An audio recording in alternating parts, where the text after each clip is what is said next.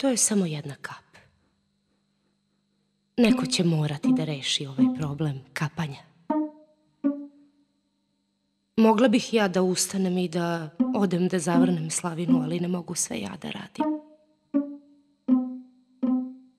I ako bi se radilo o malim kapima, u nekom trenutku one će napuniti sudoperu. Voda će početi da curi na pod. Pokvasit će mi se noge. Pre ili kasnije, kap po kap, cela soba će biti poplavljena.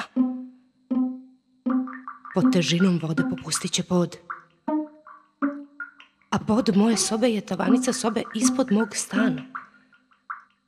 Zatim će kapi neumoljivo nastaviti da padaju i pod sobe ispod moje sobe će se provaliti. A taj pod je tavanica sobe koja je ispod ove. A moja soba je na vrhu zgrade od 25 spratova.